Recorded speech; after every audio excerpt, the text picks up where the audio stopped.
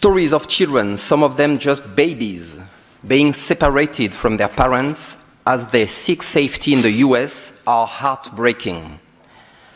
Children, no matter where they come from or what their migration status, are children first and foremost. Those who were left with no option but to flee their homes have the right to be protected, access essential services, and be with their families, just like all children.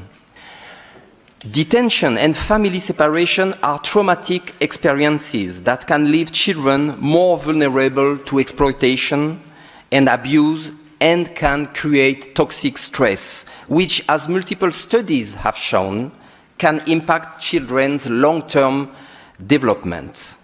Such practices are in no one's best interest, least of all the children who most suffer their effects.